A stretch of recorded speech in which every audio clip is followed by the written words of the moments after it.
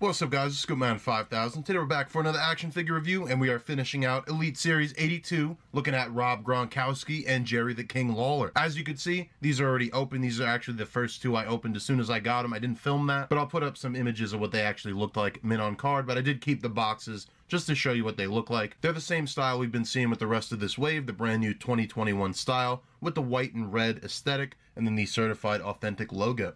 On the left side, you get the renders, and on the right, you get the in-ring shots, or for Gronk, you could just say the standing there at WrestleMania shot. And then on the back, you get the read-ups, and you get the other characters in the waves. So for Jerry the King Lawler, throughout the new generation, the King provided color commentary on Raw and clashed with legends like Bret Hitman Hart and Rowdy Roddy Piper inside the ring. And then for Gronk, the pro football megastar known simply as Gronk walked into WrestleMania 36 as the host and walked out as the 24-7 champion. And you can see all the rest of the characters in the wave. We looked at Keith Lee and Finn Balor the other day. We just looked at John Morrison and Alexa Bliss. And now we're going to finish it out with Rob Gronkowski and Jerry the King. And with packaging taken care of, let's get to it. Let's look at Rob Gronkowski and Jerry the King Lawler. And here's Jerry the King Lawler out of the packaging. For his accessories, he's got the alternate hands as per usual. On the figure, they're the gripping hands. And then he also does come with an alternate pair of fists. And then the rest of it's his entrance gear. He's got the crown that he would hold up, iconic in his entrance. And then he's got this cloth goods cape. It's done in kind of multiple layers. It's got the white kind of frilly parts up top. And then you got this blue cape that's a bit transparent. And we're left with a pretty good Jerry the King Lawler. Now, I guess it said new generation on the back. To me, this looks like even before that. This is some pretty classic Jerry the King. Honestly, I would have preferred it to be more like Attitude Era style, where it could have been him with the big jacket and the crown, something like that. I think that just goes with more of the collection that Mattel has made so far. I don't really know where to put this Jerry the King on my display because this is really like the Memphis Legend Jerry the King Lawler rather than the uh, the WWF version that we came to know you know, more so in the Attitude Era and later. But still, it's a good looking figure. I can't deny it that. You can see the head sculpt, pretty good for Jerry the King.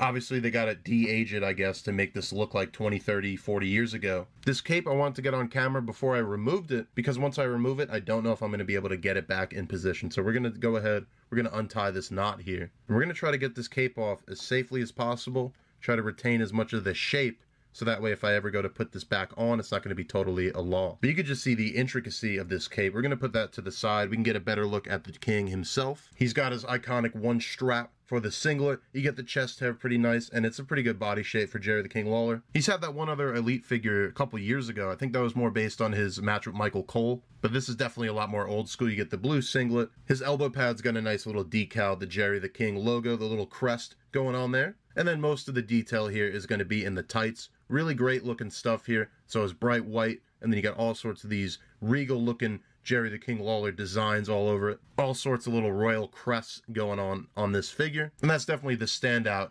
detail here is these tights. That's going down into these boots, which are pretty unique looking actually. I don't know if I've seen this sculpt too many times. They look a bit oversized, classic wrestling boots. And he's got the signature Lawler crown right there done in white, but aesthetically that's about it for Jerry the King Lawler. So now we're going to go ahead and do some articulation. So the head does the double ball joint. It's got that range of motion.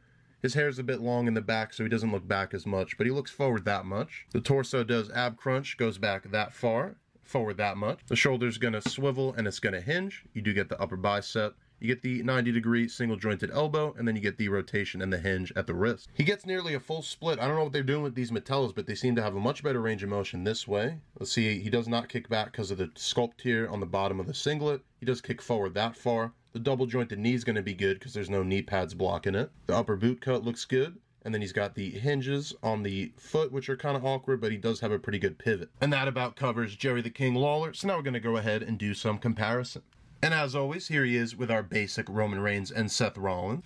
Here he is with Elite Roman Reigns and Seth Rollins. Here he is with Elite 82 Finn Balor and Keith Lee. Here he is with Elite 82 Jomo and Alexa Bliss.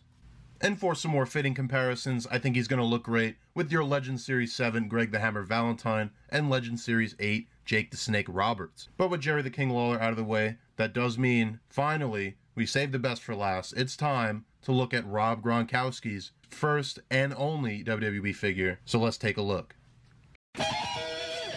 And with Gronk out of the packaging, he does come with quite a few accessories actually. The main one you're seeing is of course that jacket. When they first signed Gronk in WWE, they just made a bunch of t-shirts and pants and jackets and it all just said Gronk Mania on it. They didn't really try too hard. It's just a bunch of block text that says the word Gronk on it. But you can see he's totally decked out in that merch, and that goes with this soft goods jacket, which has no right to be as good as it is. For his alternate hands, he's got the gripping hands, and then he also does have two pairs of open waving hands. And then the rest of his accessories are as follows. He's got the sunglasses that he wore as the host of WrestleMania, with that he's also got a WWE microphone. And then the best accessory, and one of the main reasons to pick this guy up, is that we get another 24 7 championship that we first got with R-Truth. And we're left with Rob Gronkowski's first and probably only ever WWE Elite figure because, as you know, he was signed at WrestleMania. He was probably going to be a wrestler, I guess. He did WrestleMania and then he had the 24 7 championship. He was barely on TV. He did like one or two skits from home where he just fought R-Truth. And then he goes and signs back to football. He quits WWE within like a month or something like that. So the timing on this figure is actually pretty unreal. And despite the fact I can't stand Rob Gronkowski, and especially when he kind of took over WWE for WrestleMania,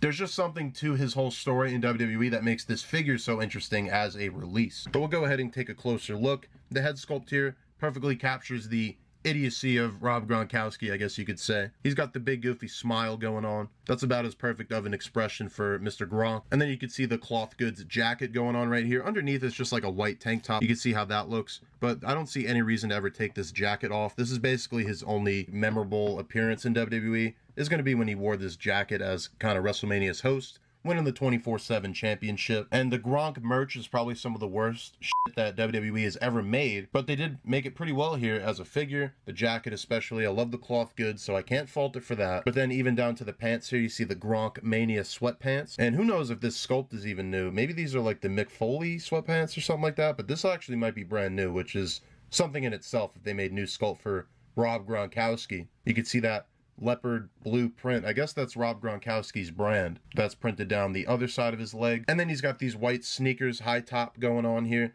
Again, I don't know if this is any new sculpt. You see some details on here. I'm sure he was wearing Nikes or something like that, but they're not going to make that on this figure, obviously. But honestly, I don't know what to say about Mr. Gronkowski because this is a really good figure. It really does perfectly capture him from that event. He's got all the accessories he needs. You can see him with the microphone and the sunglasses, everything like that. So for this, it's just one of those figures that, despite the fact that I'm not in any way a fan of Mr. Gronkowski, it's a figure I had to have. I think I'm more just a fan of the figures and just how interesting of a release that this is because of how short-lived his run in WWE even was, if you want to even call it a run. And if anything, this kind of sets a precedent for like the celebrity figures that I've always wanted to see. I think it'd be great to see, you know, like Snoop Dogg or Trump or something like that. Any Arnold Schwarzenegger, someone who's appeared on WWE TV to get an elite figure. This is a bit different because he technically did sign like a talent contract, but either way, it still kind of sets that precedent. So for that, it's cool. And like I said, pretty perfect figure. There's no faults with it really, but just what it's depicting,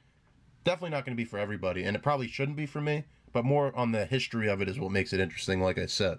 And with Gronk all but taken care of, let's go ahead and finally do some comparisons. Here you can see him with our basic Roman Reigns and Seth Rollins. Here he is with Elite Roman Reigns and Seth Rollins. Here he is with Alexa Bliss and John Morrison. Here he is with Finn Balor and Keith Lee. And then finally, here he is with, I think, Elite 79 R-Truth that came with the first ever 24 7 championship. And then here he is with his best friend, Mojo Rawley. I only have the basic. I don't even know if he has an Elite. And honestly, I just bought this for the broski anyway. But hey, at least I got someone to put my mojo with. And that's going to do it for Jerry the King Lawler and Rob Gronkowski. And with that, the finisher to Elite 82. And overall, I really think this is one of the best Elite sets they've put out in a long time. I mean, the Elites are always great, and they've been really great consistently, but I think the only set in recent history that stacks up to this one is the set that had Heavy Machinery and Christian and John Cena. I think that was a really strong wave altogether. The only figures that kind of stick out to me as being a bit weird are these two. One, because you have Gronk, who's just kind of, I don't even know where to put him in my display. But he is very interesting as a figure, and I think the Jerry Lawler probably would have been better suited for the Legend series rather than being in a mainline Elite series. But that's just my opinion. I think they're both still excellent figures and worth picking up for their own reasons. Time will tell if this Gronk figure has the crossover appeal that I think Mattel hopes for, or if it's going to sit in clearance and peg warm and be $10 on ringside. But I mean, it does have the 24 7 title, and like I said, it's a really great figure. The cloth goods jacket is pretty unreal, the head sculpt's really good. It perfectly captures Rob Gronkowski, but who likes Rob Gronkowski? I guess that's really the the main. And I wouldn't even say it's a matter of if you like Rob Gronkowski, because I know I don't, but I'm still sitting here with a Rob Gronkowski elite figure. And even if I didn't get the entire series, I definitely would have picked this guy up. So, so I don't know what that says about me as a collector, but I guess that's up to you to decide what you want to do about these figures. As always, I'm going to leave the video off with some figure photography, and you can see all of my other figure photography on Instagram, scoopman underscore 5000. And until next time, I'll see you guys in the next action figure review.